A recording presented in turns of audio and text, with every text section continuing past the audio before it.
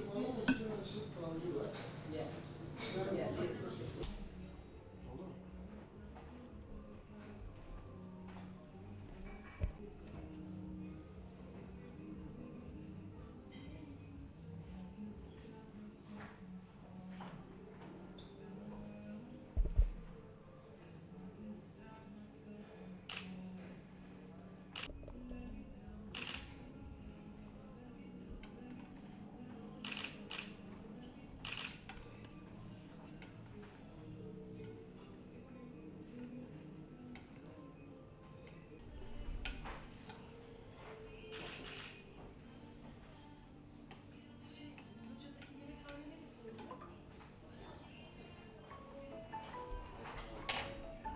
Kış turizminin önemli merkezlerinden Beyaz Cennet Uludağ bu sefer doğal güzellikleriyle ve kayak severleriyle değil bir işletmenin 500 liraya sattığı çorbayla gündemde.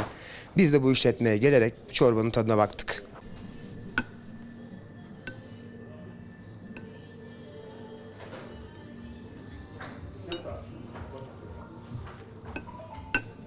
Normal bir çorba değil bu.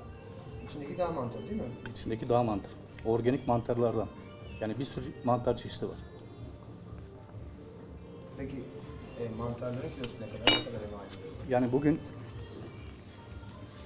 kurutulmuş organik mantarların kilosu 4000 ile 6000 lira arasında. Çok güzel. Bu da zaten bu çorba da buradaki işletmelerin hiçbirisinde yok. Bizim özel, özenle, itinayla ustalarımızın, şeflerimizin birebir hazırladığı bir çorba bu. İçinde bir- birebir bir sürü çeşitli kurutulmuş mantar olan bir çorba. Gerçekten de maliyeti pahalı bir çorba. Hani biz burada kalkıp da bir ezogelin, bir domates çorbasını 500 lira vermiyoruz.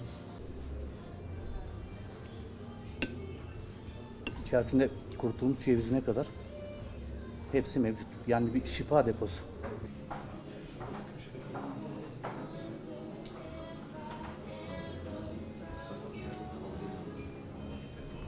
Aslında biz çorbamızın e, meşhur olmasını isterdik. E, bizim çorbamız meşhur ama maalesef e, fiyatı meşhur oldu.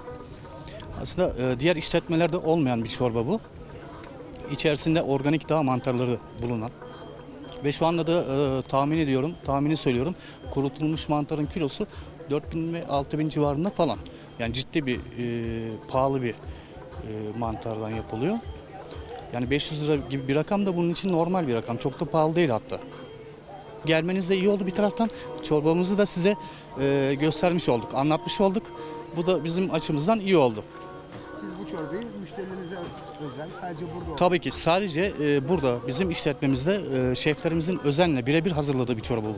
İçerisinde kurutulmuş mantar çeşitlerinin olduğu bir çorba. Çok da oynamıyor. Bugün aşağıda e, bir herhangi bir restoranta, bir e, alakart restoranta oturduğunuzda zaten bir ızgara çeşidi aldığınızda 1500 bin ile 1500 lira arasında aşağı bir fiyat gelmeyecektir zaten. Biz de bunun e, bir tık üzerindeyiz zaten. Maliyetler olsun, malın buraya gelişi olsun. E, yüksekliği burada bu fiyatlar yani bu menü birebir misafire birebir hazırlanan bir menü zaten. Tabii ki de yüksek olacak. Tabii ki de açık ve fast food gibi diğer lokantalar gibi olmayacaktır fiyatları. Yani bunun burada içerisinde özel etlerle, özel soslarla yapılan yemekler bunlar. Yani bence e, şu anki baktığım zaman potansiyele göre fiyatlarımız gayet normal.